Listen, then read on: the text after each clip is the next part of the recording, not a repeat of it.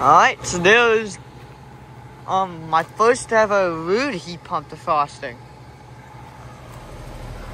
I've never caught in a Ruud heat pump defrosting until this moment. Twenty twenty two five ton. Getting warm. Got it. That York fired back up. Just give it a shot off. That's what I'm gonna try to catch next. This has been running.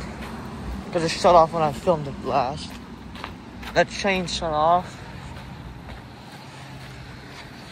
Yeah.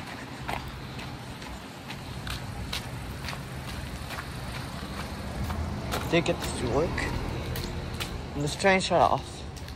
So yeah.